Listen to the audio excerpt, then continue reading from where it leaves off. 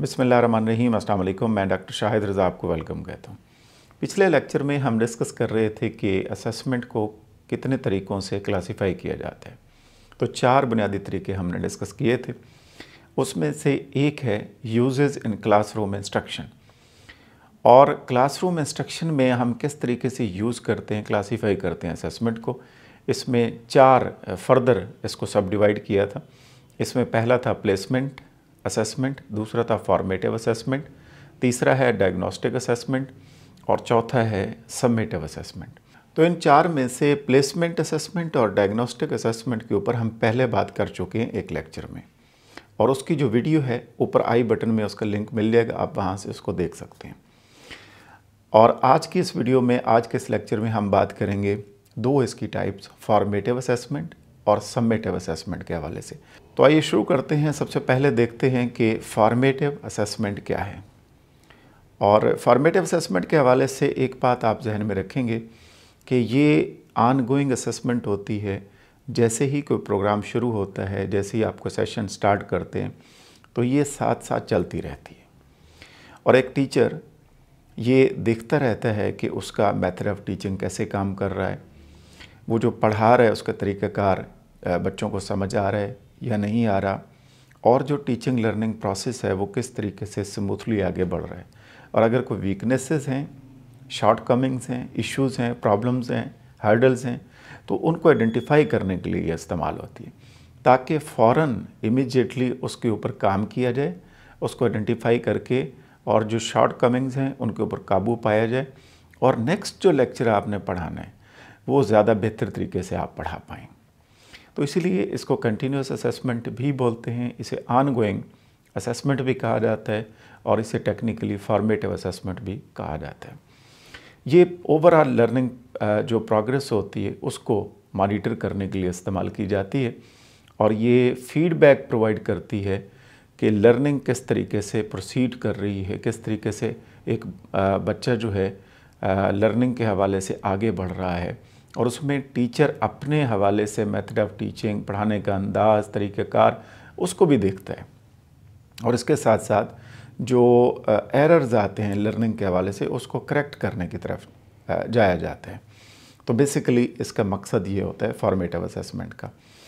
और ये जैसे मैं बात कर रहा था कि ख़ास एक वर्ड आप जहन में रखेंगे कि ड्यूरिंग एकेडमिक सेशन और ड्यूरिंग कोई भी सेशन आप कह लें कोई भी प्रोग्राम सेमेस्टर कह सकते हैं आप एनुअल है तो पूरा साल कह सकते हैं आप।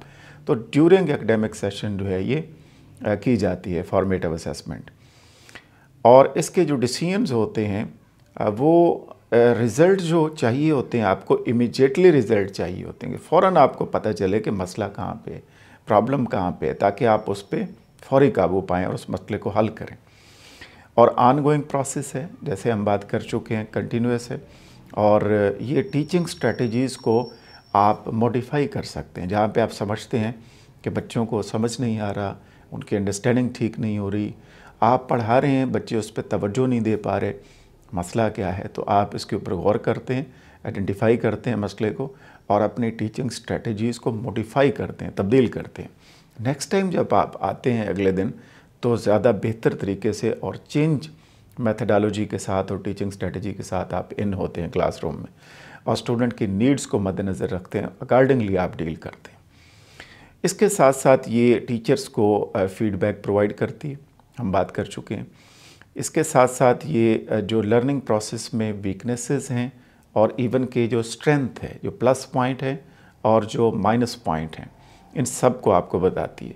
और इन्हीं को जहन में रख के एक टीचर टीचिंग स्ट्रेटजीज़ को बदलता है मॉडिफाई करता है। और ये ओवरऑल टीचिंग लर्निंग प्रोसेस को इम्प्रूव करने के हवाले से भी इस्तेमाल की जाती है ताकि पता चलाया जा सके। और ये जो फॉर्मेटिव असेसमेंट है, ये स्टूडेंट्स के हवाले से भी फीडबैक देती है कि स्टूडेंट किस तरीके से आगे बढ़ रहे हैं वीकनेसेस कहाँ पे हैं वीक एरियाज़ कौन से हैं, क्या सक्सेसफुल लर्निंग हो रही है या नहीं हो रही। तो ये सारी आपको जो है इन्फॉर्मेशन प्रोवाइड करती है। इसके साथ साथ जो स्टूडेंट ख़ास तौर पर स्ट्रगलिंग फ़ेज़ में होते हैं, मसलन कुछ बच्चे ऐसे होते हैं कि जिनको प्रॉब्लमेटिक सिचुएशन से दो चार होते हैं स्ट्रगल कर रहे होते हैं, किसी भी हवाले से, कोई स्पेसिफिक कंटेंट एरिया कह लें, कोई सब्जेक्ट कह लें, कोई कंसेप्ट कह लें, उसके हवाले से उनकी समझ नहीं आ पा रही होती और वो स्ट्रगलिंग फ़ेज़ में होते हैं। तो उनको आइडेंटिफाई करने के लिए आप इस्तेमाल कर सकते हैं। ताकि इम्प्रूवमेंट लाई जा सके। इसके साथ साथ फॉर्मेटिव असेसमेंट करने के लिए टीचर क्या करेगा? टूल क्या यूज़ करेगा? तो टीचर में टेस्ट जो है वो इस्तेमाल किए जा सकते हैं। आप क्लास में क्विज़ दे सकते हैं। इसी तरीके से आप कोई टेस्ट दे सकते हैं। आप कोई एक्टिविटी दे सकते हैं और एक टीचर प्रोजेक्ट दे सकता है।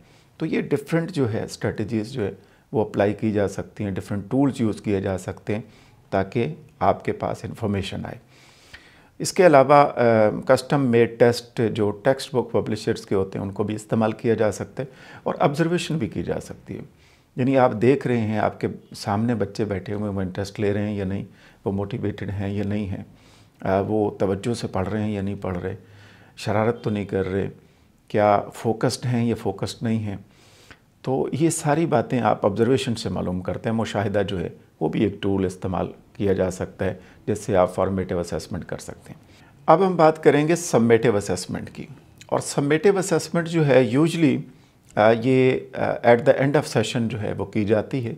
और जब सेशन ख़त्म हो जाता है, जब प्रोग्राम एंड हो जाता है तो उस वक्त आप जो इम्तिहान लेते हैं, उस वक्त जो आप टेस्ट लेते हैं, वो इस उम्र में आता है। यानी हम कहते हैं कि वो समेटिव असेसमेंट है। सम से निकला है सम मीन्स मजमू टोटलिटी और इसमें आप डिफरेंट टेक्निक्स यूज़ कर सकते हैं। Test one of the tools है जो आप अप्लाई कर सकते हैं, जो टीचर अप्लाई करते हैं इंस्टीट्यूशंस में।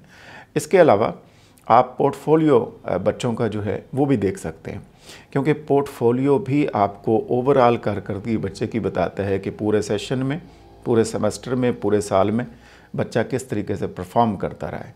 तो वो पोर्टफोलियो एक बुनियाद प्रोवाइड करते हैं आपको, उससे भी सबमेटिव असेसमेंट आप कर सकते हैं। बहरहाल एक अहम तरीन जो इसमें वर्ड है, वो है कि ये at the end of session होती है। अब एंड ऑफ़ सेशन से मुराद ये है कि अगर सेमेस्टर सिस्टम की बात करें तो चार साल का प्रोग्राम है तो चार साल के आखिर में जो इम्तिहान होगा, वो भी समेटिव है, और इवन के हर सेमेस्टर के एंड पे जो इम्तिहान होता है, वो भी समेटिव कहलाता है। और इससे, इसके साथ साथ अगर मिड टर्म जैसे हम लेते हैं तो मिड टर्म इम्तहान जो होता है वो भी उसका जो फाइनल इम्तहान होता है उसे भी हम कह सकते हैं समेटिव तो समेटिव में एक ख़ास बात ये है जो याद रखने वाली बात ये कि जिससे हम ये मुतन करेंगे कि ये समेटिव है या नहीं है तो वो ये है कि अगर हमारा मकसद ये है कि इस इम्तहान के बाद हम बच्चों को कोई ग्रेड देते हैं हम बच्चों को सर्टिफिकेट देते हैं कोई हम बच्चों को आ, कोई ऐसा ग्रेड देते हैं कि जिसको हासिल करके वो आगे जा सकते हैं फर्दर स्टडी के लिए या जॉब के लिए। तो ये मकसद है ग्रेड देने का। तो फाइनल ग्रेड जो दिया जाता है अगर इस मकसद के लिए आप कोई इम्तिहान ले रहे हैं आखिर में चाहे वो सेमेस्टर के एंड पे है या चाहे वो आ, साल के एंड पे तो वो समेटिव असेसमेंट जो है वो कहलाएगी। इसके साथ साथ जो समेटिव असेसमेंट है इसका जो रिज़ल्ट आता है उसमें अगर आपका मकसद है कि स्टूडेंट्स की कंपैरिजन कर रहे हैं आप, एक स्टूडेंट का दूसरे के साथ क्लास के साथ कंपैरिजन मकसद है तो ये कहलाती है नॉर्म रेफरेंस्ड असेसमेंट और अगर आप एक सेट स्टैंडर्ड एक क्राइटेरिया पहले से प्री डिफाइंड है, अदारे की तरफ़ से है, या प्रोग्राम में जो आप पढ़ा रहे हैं कंटेंट पढ़ा रहे हैं, उसमें लिखा हुआ है कि ये स्टैंडर्ड है, उस स्टैंडर्ड को सामने रखते हुए आप इम्तिहान ले रहे हैं टेस्ट ले रहे हैं असेसमेंट कर रहे हैं। तो इस मकसद के लिए अगर आप कर रहे हैं तो ये फिर कहलाएगा क्राइटेरियन रेफरेंस्ड असेसमेंट तो समेटिव असेसमेंट इंक्लूड होता है इसमें teacher made test teacher made test जो है, उससे आप एक टूल के तौर पे टीचर मेड टेस्ट को इस्तेमाल कर सकते हैं समेटिव असेसमेंट के लिए. इसके अलावा डिफरेंट जो परफॉर्मेंस रेटिंग स्केल्स होते हैं, उनको भी आप यूटिलाइज़ कर सकते हैं और इसके साथ साथ प्रोडक्ट स्केल्स हैं और भी बहुत सारी टेक्निक्स हैं. टूल्स मौजूद हैं जो आप इस्तेमाल कर सकते हैं इस समेटिव असेसमेंट के लिए।